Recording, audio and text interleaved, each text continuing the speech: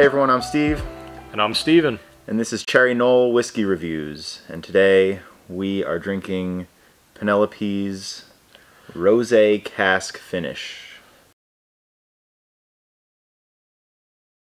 So, as of right now, the Rosé Cask is the newest release from Penelope for its Copper series. Excellent. Uh, once again, it's their four year aged uh, standard bourbon, but finished with Rosé Cask staves or in the Rosé Casks themselves. now you were saying when you first kind of heard of this or when you first saw it, you weren't too confident in it. Yeah, I like I saw it and I was like, uh, rosé is not my Yeah. favorite type of wine. And if I think about things being finished, it takes the best parts and kind of gives that to the whiskey.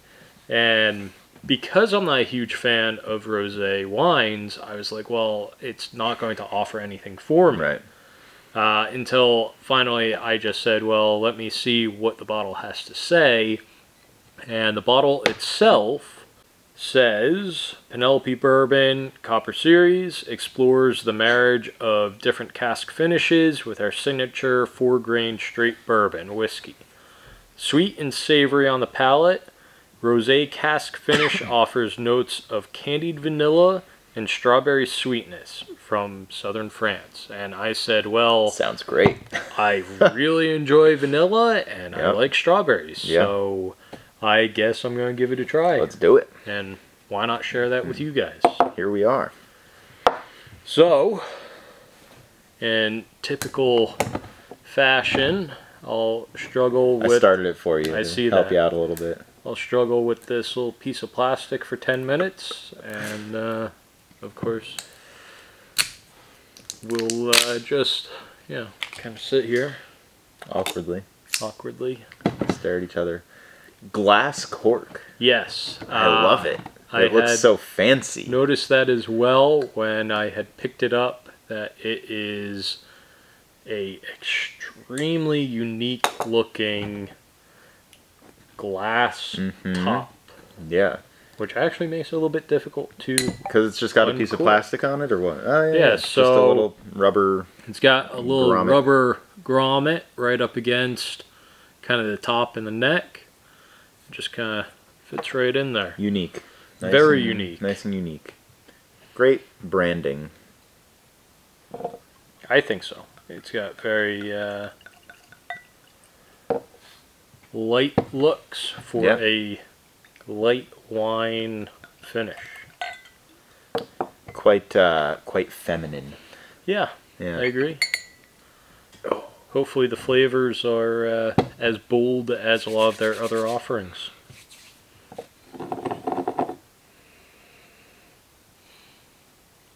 I don't even know if I've ever even had a rosé. No, I, feel, I must have. That's like the pink wine? stuff, right? yeah, it's not red wine. It's not white wine. Okay. Somewhere in between. I, I like I like red wine. I've had I've had most red wine. So, do you um, like dry yes. red wines, or do you like sweet? Yeah, no dry. So I think rosé is More of a sweet on thing, right? a sweet end compared to dry reds, but a dry end of white wines, which Oh, be interesting. Okay. I think I don't quote me. Not on a that. not a wine sommelier. no, definitely not. I'm not getting much off. I'm- the first. The Nosing. first nosing for me was grain forward. So your Yeah. typical, uh, you know, your dry kind of corn notes, like a corn dust, Mm-hmm. and then uh, from the corn dust, it does go into the strawberry. I can Do you really? I yeah, can not. smell that sweet red fruit off the tail of the dry, dusty. I, I kind of smell like the. Like it smell. It smells more of like. Like if you have if you have a bunch of the strawberry greens all Okay. together, I, It's I not not that. not so much like the sweet fruitiness of it, but like you know how the greens kind of smell more herbal, but also like a strawberry. It's like, you know what I'm saying? I do. That's that's kind of where I'm where I'm at with it. I think uh, what that is for you is some of the ethanol mixing in Yeah, with the possibly. strawberry scent. Yeah, Uh, this is 94, 94. proof, 47% alcohol, and this is batch. Would you say that's a five? Yeah. Kind of uh, just a squiggly batch line. S. Yeah, that's what it looks like to me. Yeah, But yeah, as it opens Hmm. up, I can definitely smell smell the grains kind of being tamped down a little bit by some bright red fruit yeah, sweetness. Yeah, it's it's getting it's getting sweeter and sweeter the more I kind of just Yeah, the more it kind of opens up, yeah it uh it definitely gets the vanilla is coming forward Yeah. and the red fruits. shall we? I think so.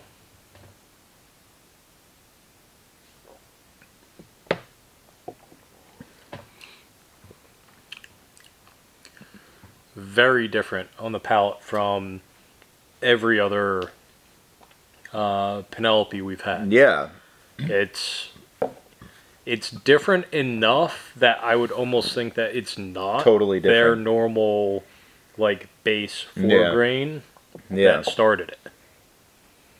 yeah, yeah. That that adds or changes it so drastically.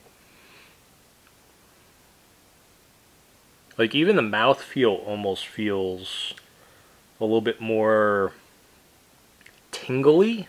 Yeah, Like it, it's not like the ethanol It- tingle, but it, I- it's I- not I like think- the smooth, oily yeah, that you get from a lot of bourbons. yeah. I I think it it feels more like a dry wine. Yes. Yeah.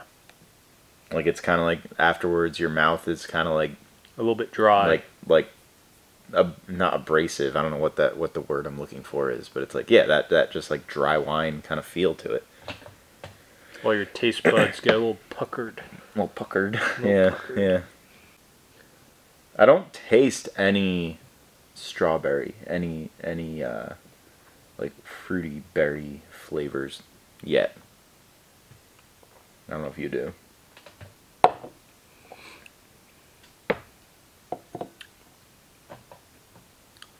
Yeah, so letting it completely coat over my tongue, uh, you know, as it kind of goes down the sides, I get more of that red berry sweetness.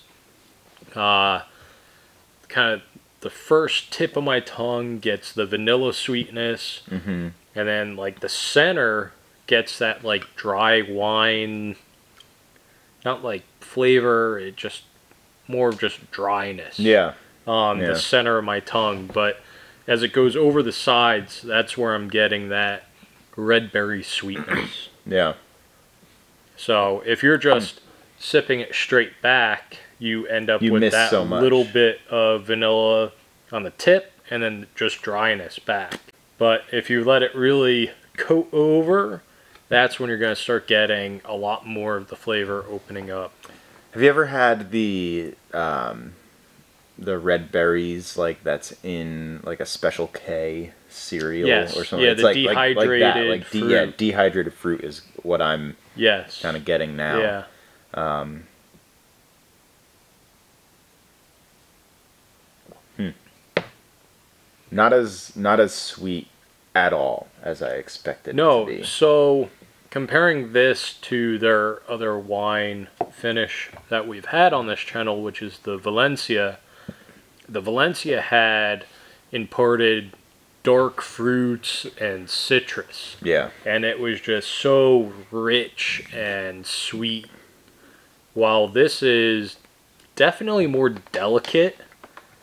Like it, it went opposite spectrum to delicate with very light Mhm. flavors that have been imported, Yeah. but it changed their standard four grain so much that it it definitely has an impact on it. Yeah, yeah, for sure.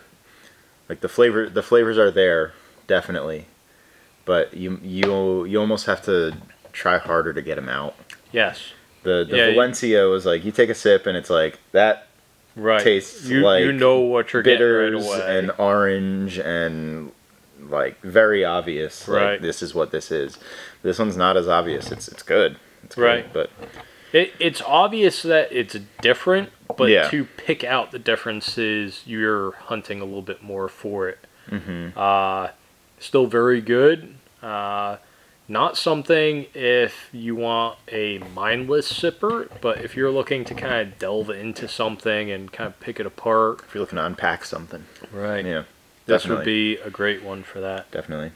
I'd like to see what a full pour would do for me. Like, pour it, wait 45 minutes, you know, just come back to it, let it sit, let Right. it do its thing. After I'd like it starts to see to open up. how how that changes things. Yeah, I But- mean, typically when I pour myself a glass, I will end up sipping that one glass for a good hour to two hours while doing other things, and then just kind of being like, oh yeah, nose a little bit, give it a sip, Yeah, and uh, you know, throughout that much time, you can really it changes. have things open up and change. Mhm. And especially with this being the neck pour of this bottle, you know, who knows by the time that we get down halfway, Right. uh, this particular bottle could end up being that candied vanilla Mhm. strawberry that they talk about on the label without really having to hunt for it. Yeah.